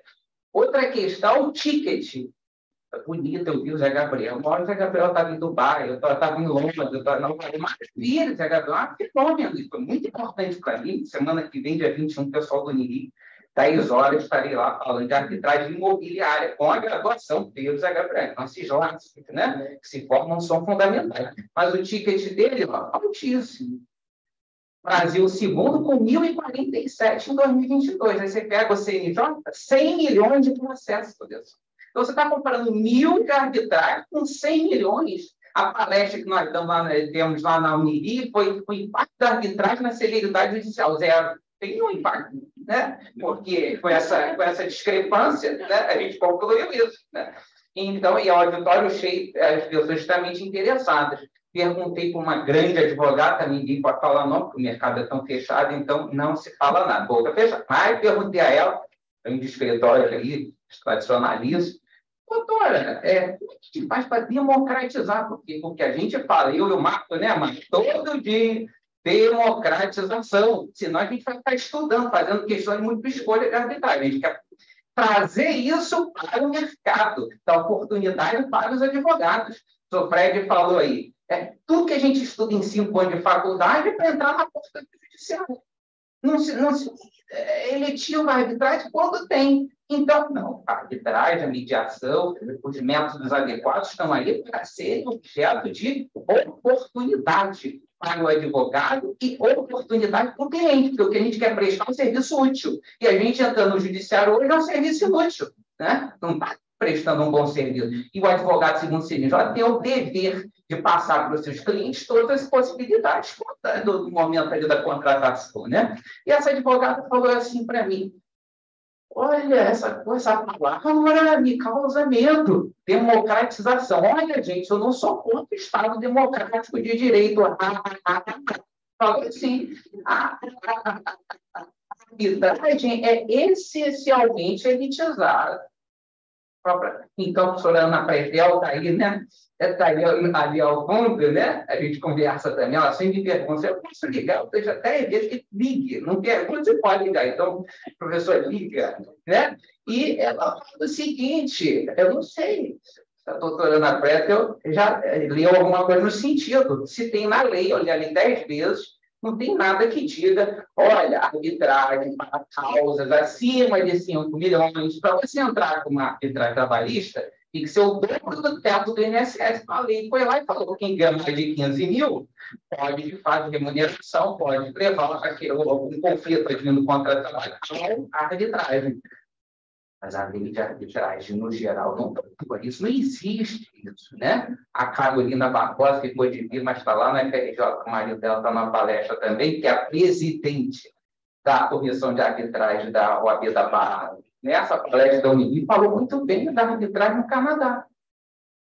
Como está disseminado e amplo na sociedade. A pessoa vai ao judiciário por uma irracionalidade. Né? E aqui a gente falando que a arbitragem é, é, elitizada, né? isso não pode acontecer. Né? Outro ponto aqui da resistência é do advogado mesmo tem desconhecimento, tem essa, esse pessoal que já está nesse núcleo fechado e ganhando muito bem, se valendo da lei, e vê como uma ameaça essa democratização, né? Não é democratizar de juizado, embora o Chico Cavalema sempre falou, né, Alessandro? Quanto ao juizado imobiliário, enfim, eu não falo mal de fiquei no, no por nove anos e, e tenho muito boas experiências, mas Não seria isso, é baixar o ticket, chegar no micro empresário, no médio empresário, no shopping center, no indivíduo que compra e vende, é, é, é, é o indivíduo que compra o imóvel um incorporador, um terrenista, um, um, enfim, toda a regularização fundiária, enfim, todos os nichos que a gente tem é, no nosso direito imobiliário são possíveis de serem arbitráveis, porque são direitos patrimoniais disponíveis. Todo direito patrimonial disponível pode ser objeto de arbitragem. Então, nossos contratos imobiliários todos podem ter cláusulas compromissórias. Então, a gente já estou comentando aqui variação. Isso aqui é o pontapé inicial. O objetivo é o quê? ter reuniões aqui presenciais, redige uma cláusula, encontrar, como é que bota numa convenção condominial, enfim, todas as dúvidas serem sanadas. Eu não sou aqui professor de nada, eu vou estar junto, né, debatendo, a entregar o quê? ao cliente uma solução. Em vez de aguardar 10 anos, você vai aguardar três meses, vai aguardar seis meses, árbitro único, tabela de custas acessível. Poxa, quero no judiciário com o juiz para julgar, tá? não é o juiz, é o assessor, o assessor, o assessor. Aqui não, você vai escolher o Luiz. O Luiz é, ah, eu gostei, porque o Luiz, o currículo dele é muito bom. Então, é o e o meu litígio se refere a esse tal Luiz. Então, vai ser o Luiz. Mas pode descer para pagar lá depois. Depois, três meses, três meses, não fez, não cumpriu, aí sim, comando que o Luiz der, uma parte vai ficar chateada, né? a outra vai ficar feliz, é, e aí a parte que ficou feliz, se a, ficou chateada, não cumpriu, vai para a caixa arbitral ou para o judiciário para executar, se não houver cumprimento espontâneo. Né? É, mas aí você já entra numa parte de execução, já sai esse processo de conhecimento a todo mundo. Né? E a última questão de resistência, desconhecimento, essa ameaça, né? já comentei, cláusula compromissória é feia, porque está me alertando. então, não vou entrar na questão de cláusula agora. O Leandro não está aqui. Ele falou assim, poxa, Gabriel. Ele falou semana passada, eu dez vezes para ele, eu queria que ele estivesse aqui. Porque ele falou assim, pô, é, mas é um problema a questão de locação, né? Quem não pode. Até o, o, o desembargador que a Laiana foi lá em São Paulo, vai abriu eu escrevi um artigo no Migalha junto com o Olavo, comentei sobre esse caso. Despachar com o desembargador, ela falou assim, o desembargador, sabia que não podia, que podia arbitragem e locação, que era um contrato da, quinta andar. Direito patrimonial disponível. Né? Então, é inacreditável como a gente tem que aculturar não só o advogado, mas também o tribunal muito importante. Eu mandei um e-mail para o Luiz Felipe Salomão, que ele estivesse aqui. Falei com a. Por quê? Porque eu falei com a secretária, falei com o filho dele, porque seria muito bom ele comentar sobre as decisões imobiliárias, porque o STJ é um defensor né, do princípio da competência competência. Não vai o Poder Judiciário, não. Tem mais compromissório, tem que aguardar foi intimada a sentença, 90 dias de ação anulatória. Não entrou 90 dias de ação anulatória, acabou. Essa cliente da LAI, essa proposta, né, foi impugnar, foi alegar que não podia é, despejo em arbitragem, impugnação cumprimento de sentença. Pois é, eu sou muito. Da... E a juíza, em primeiro lugar, não pode ficar no STJ. Ela nem lê, ela emenda do STJ. Pode despejo no STJ. Foi julgado no STJ em 2021, foi emissão na foto, já tinha é, sido uma, uma, um não pagamento ao não podia nem ter cumprimento espontâneo por parte do Equatorial Executivo, não pode árbitro. Né? Ela fez essa menção e, felizmente, o Tribunal de São Paulo foi resguardou a competência a competência. Vou fazer uma prestação de contas prestação de contas necessária. Não está iniciando outro núcleo. O núcleo já teve o soft open, como fala em inglês, né? E o soft open foi dia 19 de abril na Uni. Tivemos palestra lá sobre é, é, arbitragem no mercado imobiliário. Dia 5 do 5, workshop na CANT. 18 do 5 na UVA. É, 6 do 6 na Telso Lisboa, tivemos lá eu e o Marco. Podcast da BANI, dia 12. Todo mundo, gente, tem que entrar no YouTube da BANI. É a BANI ATV. Eu até sugeriria a BANI oficial mas a BANI ADV permanece assim, tem que entrar no YouTube da BANI. E tem o Instagram da Band, temos uma live lá gravada, dia 14 do 6. Dia 21 do 6, Unirim, 10 horas da manhã, lá em Botafogo, todo mundo presencial, Gabriel, Zé Gabriel, tá louco, chegava na sala, mas estou fazendo aqui o convite. E 19, 20 e 21 de julho, curso de direito é, de arbitragem no mercado imobiliário na UVA online. Jair, não sei se está está ali. Eu estou aqui me antecipando, ela não divulgou no Pesarte ainda, né? A gente vai almoçar terça-feira que vem para falar sobre isso a levar a graduação. Isso é muito importante, né?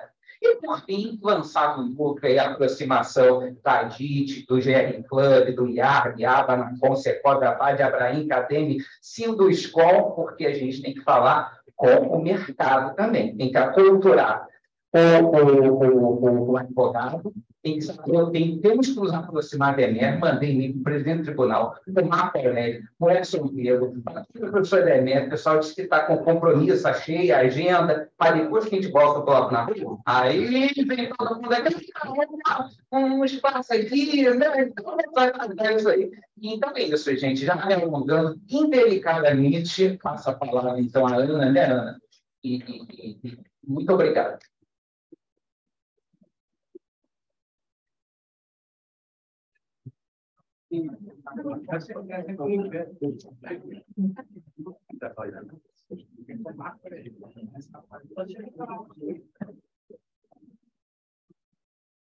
Enquanto a gente só organiza aqui a mesa, obrigada, doutor Gabriel. E só lembrando né, que o senhor não falou qual o canal do nosso podcast. Então, quem não assistiu, pode ir lá no arroba abaniadv Marcos, doutor Gabriel, estão explicando o que é mediação, tirando a dúvida, né? Porque, como nós conversamos mais cedo, é muito polêmica entre os advogados, né? Algo novo que causa dúvida. Então, vão assistir os nossos associados e parceiros que falaram para a nossa presidente explicar as dúvidas sobre esse tema que é tão importante.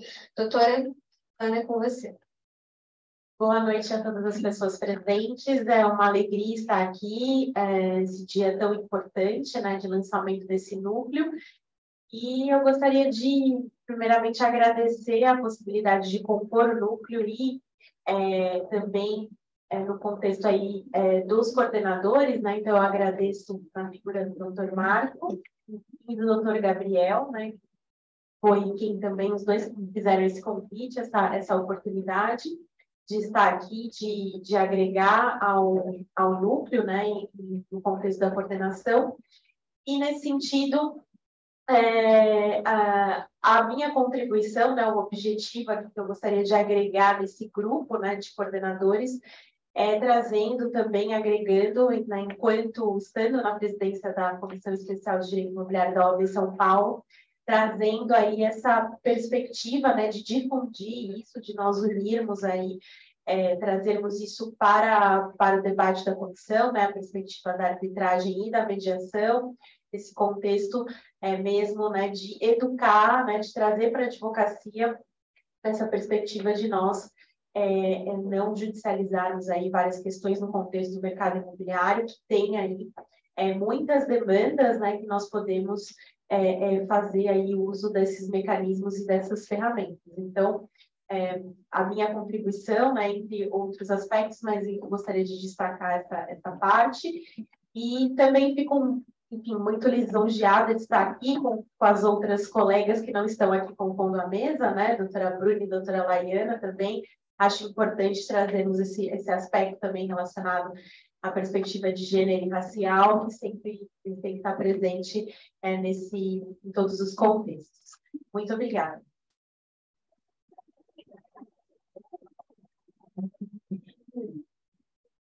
Passo a palavra agora para o nosso ex-associado, ex-abaniano, doutor Luiz Arechaval, por gentileza.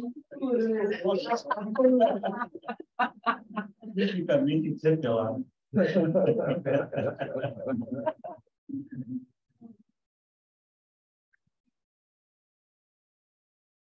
Bom, já, já tomei uma chamada de cara, né? Quem está esperto.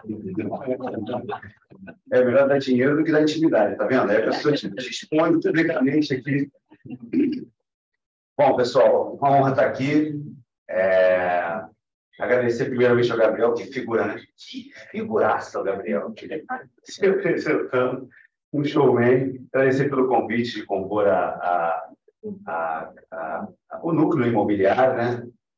E agradecer Ronaldo, Marco, o Carlos, todo mundo está aqui também, a Ana, é, aos colegas que não estão presentes, né? Mas, realmente, pessoal, assim, é, é importante a gente dar luz à arbitragem. A mediação ainda é mais difundida, a conciliação, mas a arbitragem é muito pouco falada, né? É, e é muito importante dar luz a isso. Porque quando o cliente chega no nosso escritório, e isso tem que ser difundido entre os advogados. Não, não é o cliente que vai dizer que ele quer uma arbitragem. Não é o cliente que vai escolher o Gabriel, o Marco, o Ronaldo para ser o árbitro. Ele não sabe, o cliente quer um resultado. Como o Fred falou muito bem, né? O cliente quer resolver uma, um problema jurídico, né? ele deu um termo perfeito. Ele quer resolver um problema jurídico. Cabe ao advogado ter a habilidade e entender dentro do sistema multiportas, como ele falou, muito brilhante, né? Como ele falou muito bem, nós é que temos que olhar, bom, que tipo de litígio é esse? Quem está do outro lado? Qual é a demanda? Quem que, qual é a ferramenta disponível no sistema multiportas brasileiro para resolver esse problema? A solução adequada a esse tipo de problema. Não é levar necessariamente, obrigatoriamente, tudo para uma determinada porta. É você saber, dentre as portas, conhecer todas as portas e poder escolher a adequada àquele caso. Então, assim, isso passa por, por, uma, por uma maleabilidade do advogado, como ele falou muito bem, tem que mudar. A gente tem que abrir a nossa cabeça para essas coisas. E um outro ponto que é muito importante e que é, é difícil, na prática, da gente materializar, da gente consumar isso, que é o diálogo entre os advogados. A gente tem um hábito muito ruim de ser que o cliente briga, que o cliente não quer conversar, que o cliente não quer conciliar, mas os advogados, pelo menos na minha experiência, conversam muito pouco, é ou não é?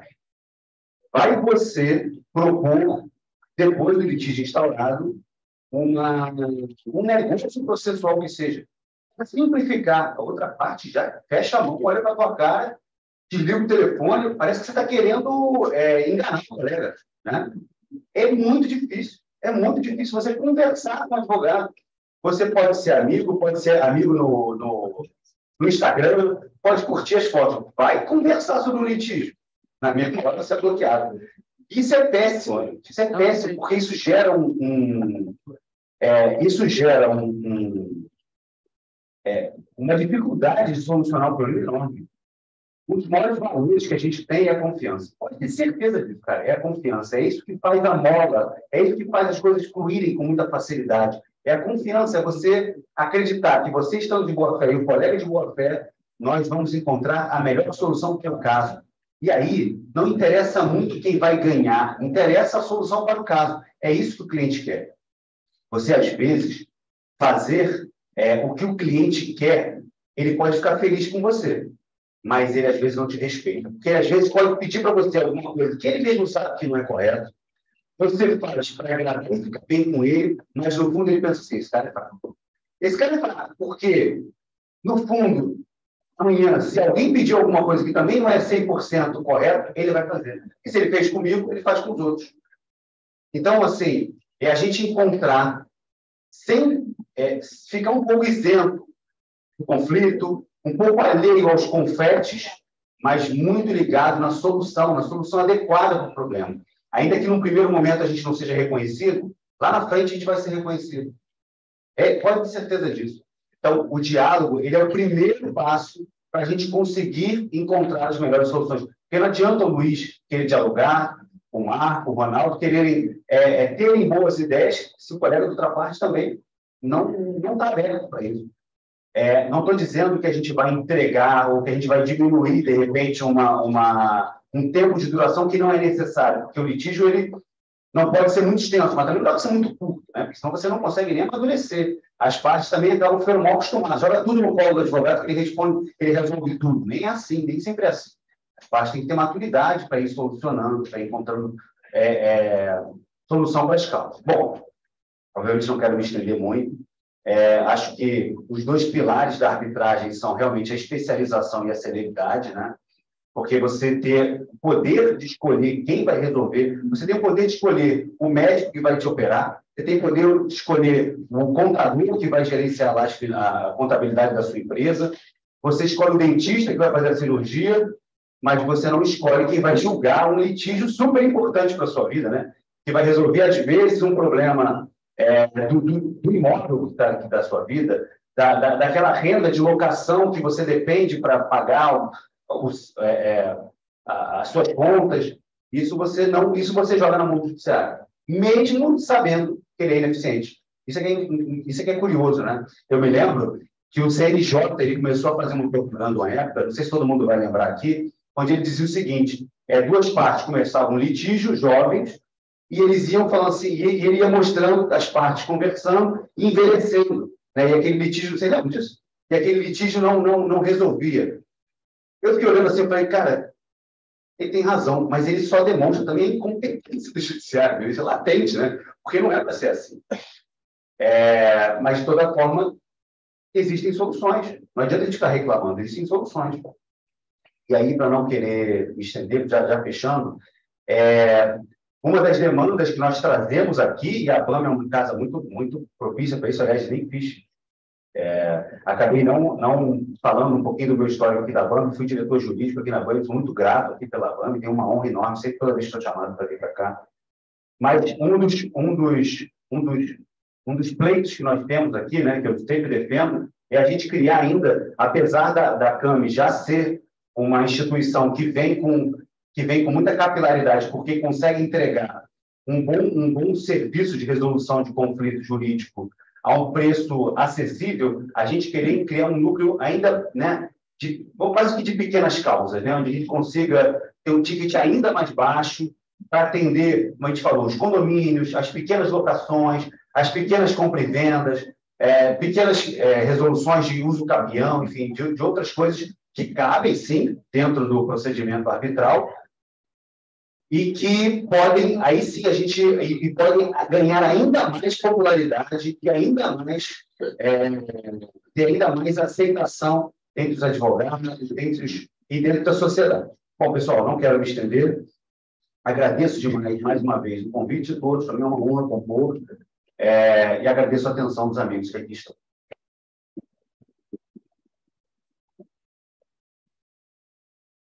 Obrigada, doutor Luiz, ex-associado e amigo da Vânia.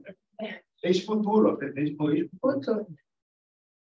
As doutoras Bruna de Moraes e Laiane Piano não estão presentes, mas deixaram uma mensagem que vamos passar para vocês e para os que estão no virtual.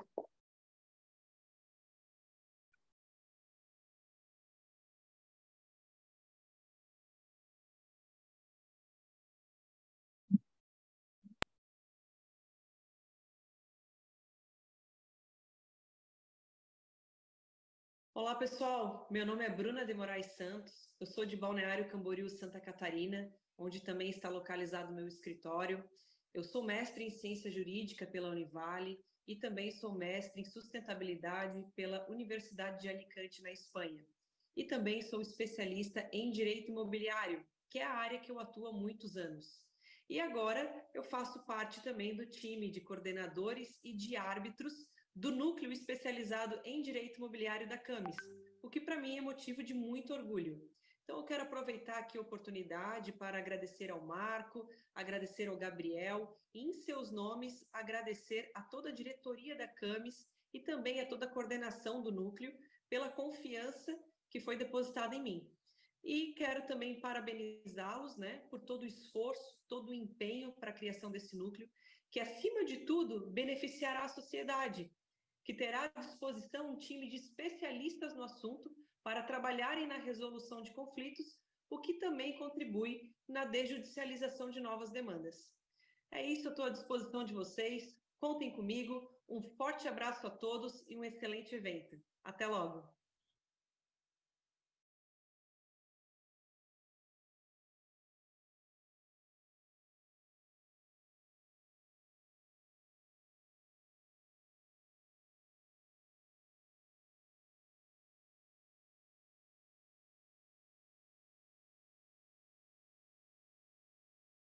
Boa noite a todos e a todas. É, meu nome é Laiana Piau, eu sou advogada. Estou na coordenação do núcleo de imobiliário criado pela Camis Rio. Queria aproveitar a oportunidade para agradecer pelo convite, pela participação, para convidar a todos a propor ideias, a propor projetos. A, a construção desse núcleo certamente se fará a muitas mãos.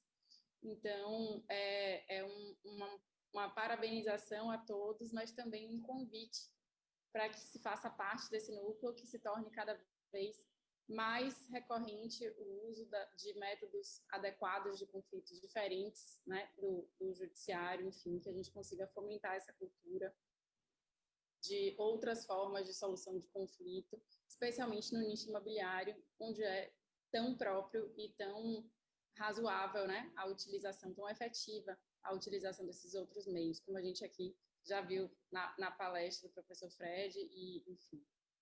Então, boa noite, mais uma vez, muito obrigada, espero estar com todos presencialmente em breve. Até, até logo.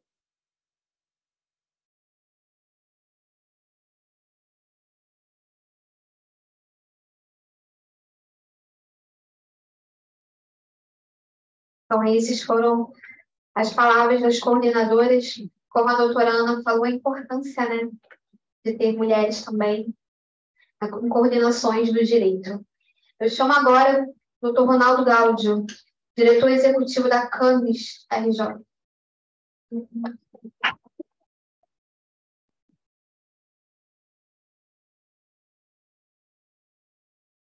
Tá bom. Boa noite a todos. É... 8 e 20 eu acabo de ver que tem uma mensagem da minha mulher, está me esperando no fim. É, além da recomendação do marco de três minutos, quer dizer por top, né? a chamada, vamos dizer assim, mais dura acabou de acontecer na hora que eu parei então vamos respeitar. É, só queria fazer alguns comentários, alguns pontos que me parecem importantes, né, ainda relacionados à noite de hoje e relacionados à Campos. Ah, primeiro delas é cumprimentar e agradecer. Né?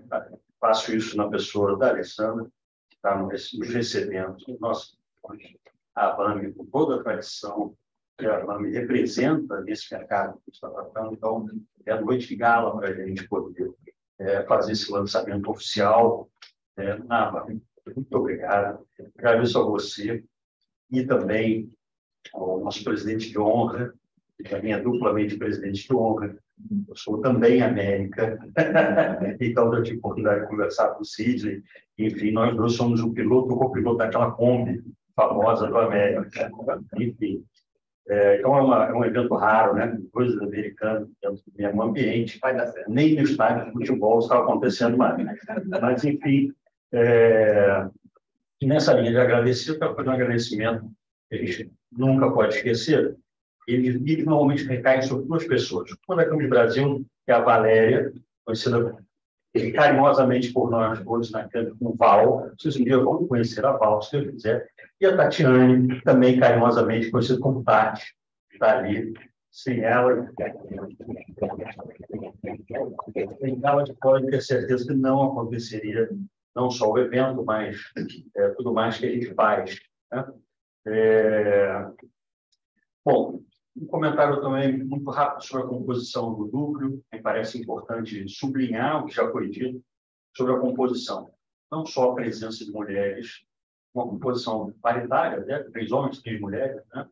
mas três mulheres extremamente qualificadas. Não gostaria de arriscar, sem magoar o Gabriel e o Luiz, o Leandro não está aqui, eu não peço licença, mas uma qualificação né? para intimidar a gente aqui realmente advogadas de um nível excepcional, isso dignifica muito o nosso grupo. E, além do mais, elas representam outros estados. Né? Então, é, nossa presidente da Comissão de Imobiliário do AB veio de São Paulo, muito obrigado. Isso é um prestígio sem fim você ter feito esse esforço. Eu acho que é um reconhecimento que eles devem fazer também, via de São Paulo, para prestigiar o evento. Enfim, é, Ana Lívia você procura ela na internet, você vê gabarito de pessoa que a gente está falando, isso deixa, como Camis, deixa o nosso núcleo muito feliz. Começou com um núcleo estadual, ampliou para um núcleo nacional, e a gente tem representação em São Paulo, em Santa Catarina né, e na Bahia. Então, É, isso é algo que eu queria sublinhar também no contexto da noite de hoje. É, alguns pontos mais só para reforçar, a gente está falando de arbitragem. Né?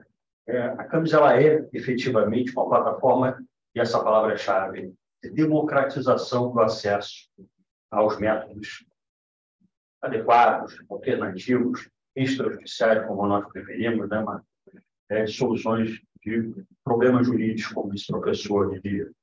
É, ela efetivamente tira é, esses métodos, principalmente a arbitragem, de um, de um, de um imaginário, não imaginário, a realidade, é, de, um, de um método solucionado ou à disposição só de uma elite né, de, de causas multimilionárias. A Camis viabiliza isso. Essa, esse é o reporte dela. Essa é a proposta dela desde a sua concepção quando os fundadores da Camis, né, e depois, quando os fundadores da Camis pensaram a Camis. Então, é, a gente não pode ter uma justiça privada, algo parecido com uma corporação de ofício, um clube de poucos, que tem dinheiro para se manter ali. Então, está trazendo essa oportunidade para diversos mercados que estavam alijados dessa solução, inclusive mercado imobiliário. Né? Então, questões relacionadas à vizinhança, condomínio, entre tantas outras, porque o mercado você quase que o mercado não passa tudo. Né? É, ele tem um arsenal de métodos à disposição para serem solucionadas essa, essas questões. Mas não é só arbitragem. A arbitragem é a pontinha de um iceberg enorme. Importante valorizar. Isso certamente vai ser pauta para um outro momento, falar dos métodos, de pontos que existem. Mas a gente não pode esquecer da mediação. Nós precisamos de uma cultura dos advogados aprenderem a fazer honorários na mediação. Um método muito mais vocacionado para a restauração das relações, para a pacificação efetiva dos conflitos. Né? E nós temos na Câmara de mediadores excepcionais que estão ali prontos para lidar com os advogados, mas os advogados precisam ter essa cultura é, de solucionar acima do procurar descobrir quem está com razão ou vender um serviço adversarial. É, nós fomos, eu fui forjado com esse mindset. Quando entra alguma coisa no escritório, primeira coisa que a gente pensa é que ação, cara. Né? Qual é o tipo? Qual é o... Na época, eu estou com as cautelares típicas. Você pensa, esse é o nosso modelo padrão. É, mas a gente já coleciona é, várias e várias hipóteses onde claramente a solução mais vocacionada não é o judiciário. Poderia dar vários exemplos para vocês, vou poupá-los disso pelo, pelo horário, naturalmente, mas eu quero dizer que isso, é, é, essas possibilidades, elas estão muito mais entregues a vocês do que a nós. Nós somos a plataforma. Nós viabilizamos com acesso, com tecnologia, com preço, com profissionais muito bons, inclusive vocês, mas a quantidade de questões que podem passar a ser resolvidas fora do judiciário, uma Câmara como a CAMES, ela depende essencialmente da percepção de vocês. Hoje eu almoçava com o Donato, Donato Ferreira, advogado também do setor. Vocês, ele começou a me narrar uma série de modalidades de negócios é, no mercado imobiliário que não fazia a menor ideia que existia e que tem uma vocação muito maior para ser resolvido no ambiente de uma Câmara do que no Judiciário. Então, isso é com vocês. E por isso a ideia de criar um novo. Nós não vamos inventar a roda, nós não vamos dizer para os profissionais de uma determinada área o que eles podem resolver numa Câmara. Eles é que tem que ser. Se vocês precisarem para isso ser viável, eles vai fazer e vai apoiar. Seja com a escola, câmara, porque existe um gap cultural sobre é, sobre uma cultura de litígio, uma cultura adversarial, adversarial nossa que é muito arraigada, né? É, mas também para conhecer mesmo as técnicas, as ferramentas, isso está à disposição. Isso, acredito, com a BAME a gente conseguiu viabilizar de uma maneira muito especial, com coisa prática, né? com oficina, com workshop, trazendo esses esclarecimentos, trazendo os modelos, discutindo cláusulas, discutindo soluções. Né? O Luiz, no primeiro, o Luiz faz um evento para a área de vocês, em que, em que gente participou, Casa Lotada, um evento incrível. Em pouco tempo de conversa, o Luiz começou a trazer para a mesa uma série de alternativas, possibilidades de aplicação, de funcionamento da Câmara, enfim. É, a gente, nós, CAMES, não vamos conseguir dar tanta função para a Campus quanto vocês podem dar. Nós estamos absolutamente abertos para que vocês façam exatamente o que o Luiz fez. Levantou aqui, olha, a gente acha que para determinada modalidade de conflito, um outro ticket, uma outra forma pode tornar mais acessível. A gente quer isso. Né? A missão de democratizar o acesso é uma missão real nossa. É, e ela não é uma missão fácil de carregar. A gente precisa dos advogados para isso. A quantidade de, de, preocupações e de críticas que se gera quando se traz uma solução como a Camis, como o professor diz, né? disruptiva, né? são imensas. Então, a gente ouve todo tipo de, de, de, objeção. Talvez a mais simples dela foi a que Gabriel trouxe em evento que ele ouviu dentro do escritório. Né? Não, a arbitragem é só para alguns como assim democratizar o acesso à arbitragem, né? Enfim, então, os contratos milionários têm acesso, o resto que vá para a fila do SUS, isso não, né, não parece muito congruente com o que a gente pensa de acesso à justiça, né? Bom, enfim. É... Bom, e aí, minha gente, nesse contexto, né, é, o que pode ser feito, se vocês tiverem dúvida, estiverem dúvidas sobre o que pode ser feito ou como acessar a Câmara, entre em contato. Tá? Pode ser por e-mail, pode ser no site da Câmara de Brasil. Vocês que são daqui do Rio, eu aí, lógico, nesse momento dirigindo para quem é do Rio, podem fazer isso direto por e-mail, pelo nosso telefone na Camis. Né? Nosso e-mail é camisbrasil.com.br. Agora, eu tenho uma questão que eu queria levar para aí, como é que eu falo, com quem eu falo, podem ligar para a Camis, provavelmente quem vai atender é a Tatiane. Né? Falar da câmera aqui do lado da gente, né? Fisicamente, a gente está aqui na Rio Branco, com a Assembleia, então tem uma estrutura física, né? É, para atender vocês, para receber vocês. Se for com agenda marcada para os nossos workshops, inclusive, está direito a vir ao meio né? A gente já sai. Sim, sim. É o site da, da, da, da Camis tem não só a tabela, eu recomendo vivamente que vocês acessem para ver a tabela de custos da Camis, extremamente atrativa, como disse o Vilela na abertura do evento, é, mas também os nossos modelos de cláusula. Para mediação arbitragem, tem muitos outros tipos, tem outro, muitos outros tipos de solução que, é, que entra na Escola Camis para assessorar no como fazer, no como implantar. Tá? Então, não, não, não se acanhe perguntem, quer, precisa das perguntas, precisa que vocês acessem, procurem entender como fazer. camis.rio, arroba camisbrasil.com.br ou vocês advogam fora do Rio também, pela Brasil, que entra de demanda é distribuído para toda essa rede de câmaras, como disse o Beto mais cedo, Ceará, Bahia, né, é, São Paulo. São Paulo está virando, na verdade, um é um manancial de câmbios. Ribeirão, em breve, vai ter também, é isso? É um hub de unidades da enfim. É, então, basicamente, a gente vê algumas ainda né, no nosso radar que devem vir. Então, não sacanhe não, liguem para a gente, é, até o celular fica à disposição, uh, o e-mail, nosso telefone fixo, e aqui, Rio Branco Assembleia, Rio Branco 151, seja fantástico. Tá? Usem e abusem da Camis, porque a gente quer, é, quase como uma dica também de, além, lógico, do bom desempenho da Camis, mas é uma questão de honra também de mostrar que existe, sim, a, a necessidade e a viabilidade de se trazer uma Câmara de Investigação e Arbitragem para todos os tickets da advocacia e não para uma advocacia é, extremamente elitizada, nada contra, absolutamente, mas a advocacia precisa disso. Né? o arsenal de possibilidades de se fazer honorários fora do judiciário é cada vez maior. Diferente, maior, mais rápido. Né?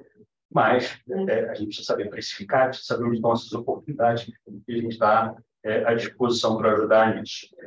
Por fim, além da gente ter essa ideia de democratizar o, o acesso, e de ajudar na formação dessa cultura, a gente valoriza também muito o estudante. Tá? Então, é, é muito importante, isso eu quero deixar no radar de vocês, envolver o jovem advogado, envolver o estudante de direito. E essas oportunidades nós estamos procurando. Né? É, nós estamos constituindo um conselho decente, um conselho de alunos e de jovens é, advogados que estão ingressando na carreira, porque nós entendemos que essa, esse fluxo de contribuições é vital para arejar e para promover efetivamente esse acesso a, a, aos métodos extrajudiciais. É, a receptividade é muito boa, e aí eu vou me reportar a Janine, é uma máquina é, do quadro lá da, da Universidade Veiga de Almeida, que a Jaine criou no Peito na Raça, né, um grupo de mediação e arbitragem da Veiga de Almeida, fez um evento enorme, não tem um mês o novo evento, né, Casa Lotada, Gabriel fez menção a esse evento, enfim. E ali tem a advocacia que ainda não está endurecida como a gente já está, né, em relação a pensar em judiciário, enfim, né. É, essa, essa advocacia precisa desses métodos e ela tem uma advocação até que a gente para gerar um, uma nova cultura de pacificação social e de restauração das relações. Tá bom? Perdão, Marco. Perdão, minha mulher que não está me ouvindo, mas deve perceber que eu não obedeci. Tá? Um abraço vocês. Muito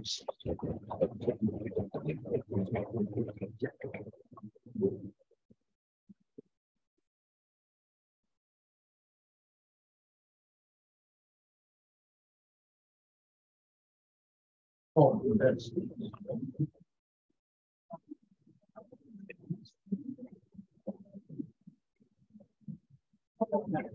Bom, pessoal, enfim, é, eu, enquanto diretor-presidente, só tenho a agradecer e agradeço mais uma vez, fortemente, pelo carinho, pela acolhida da. E registro que não só por emprestar espaço, mas pelo prestígio torna esse evento, mais uma vez, um muito interessante. Né?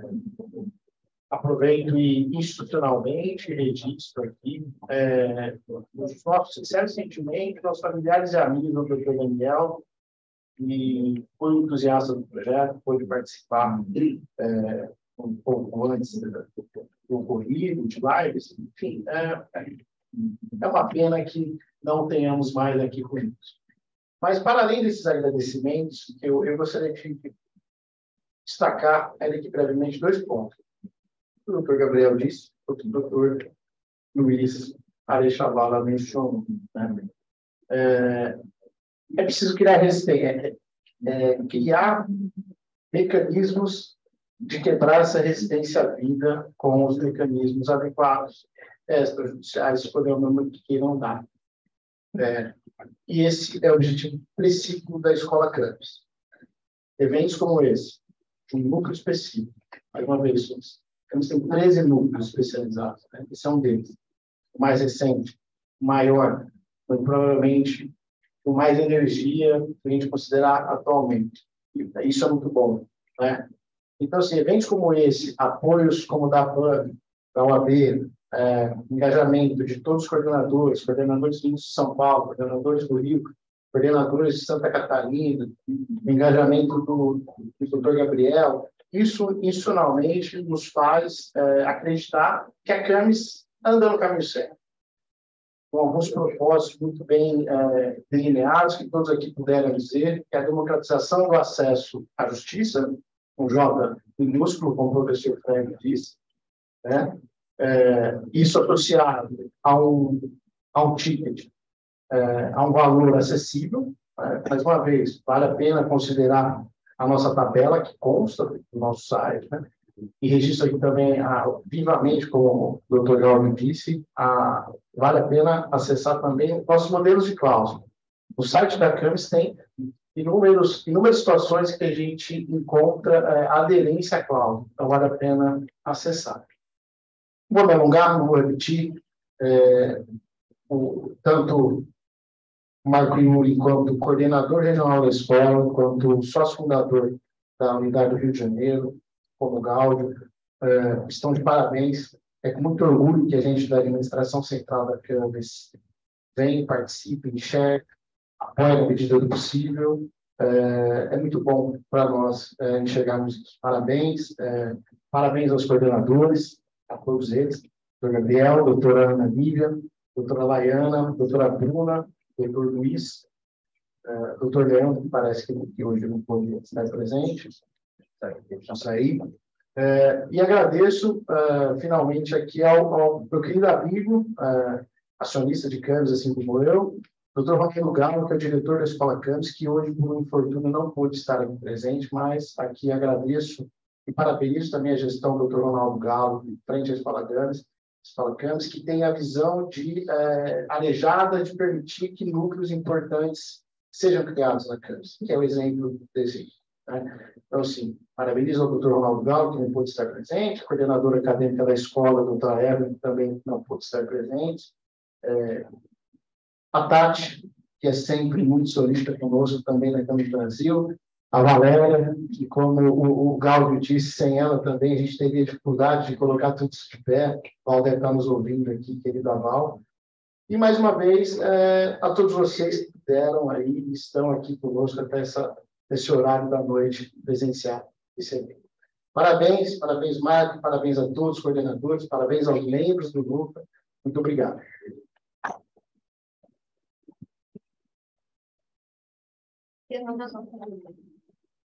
Bom, gente, é, já me encaminhando aqui para a gente encerrar, adiantado da hora, e, e, já agradecendo a presença de todos mais uma vez, né? É, e já convidando todos para que a gente possa passar aqui o nosso coquetel. É, só, só, queria aproveitar a oportunidade, o Ronaldo já falou sobre os nossos workshops, a Escola Camis aqui no Rio tem realizado uma série de workshops, a gente tem eleito assim, matérias que a gente entende relevantes para desenvolver e criar, de fato, esses laços de cultura com os métodos extrajudiciais. A gente tem próximo, na, na, na próxima sexta-feira, dia 23 de junho, o segundo módulo sobre mediação escolar, com a nossa mediadora, a Cristina Lobato. Vamos lançar em breve aí o nosso calendário para o segundo semestre. E, enfim, eu também só queria, a respeito do núcleo imobiliário, deixar registrado aqui o nosso calendário de atividades também, para vocês acompanharem. A gente está abrindo um edital no segundo semestre para chamada de artigos com publicação especializada. É, a gente vai lançar também um e-book específico sobre os métodos extrajudiciais no direito imobiliário. A, gente tem a previsão de realizar aqui, junto com a BAMI, uma série de oficinas para divulgação dos métodos é, extrajudiciais para os advogados atuantes aqui no mercado imobiliário. Ah, vamos realizar, dentro da nossa programação dos workshops no segundo semestre aqui na Calegio, é, dois workshops, o Gabriel mencionou, né, a gente realizou o primeiro em maio, mas a gente tem previsão de fazer mais dois é, dentro dessa temática. E, por fim, também a gente está prevendo, no nosso simpósio anual, que vai acontecer no final do ano em Brasília, a, a composição de uma mesa específica só sobre o direito imobiliário, né? então, para a gente prestigiar o nosso núcleo e os nossos coordenadores. E deixar também aquela mensagem ah, para aqueles que eventualmente desejem ainda integrar, Gabriel falou, né, a gente está é, com alguns é, pedidos aí para integrar o núcleo, que nos procurem, que, que é, tragam né, seus currículos, que a gente vai ter muito prazer em dar encaminhamento. E já encerrando, não sei se eu posso para a Caroline, para encerrar, e a gente agradece, então, mais uma vez a presença de todo mundo que acompanhou online, tem, tem gente online ainda nesse horário acompanhando a gente também, né? E a gente declara encerrado com muita felicidade o lançamento aqui do nosso grupo imobiliário da Campos. Obrigado.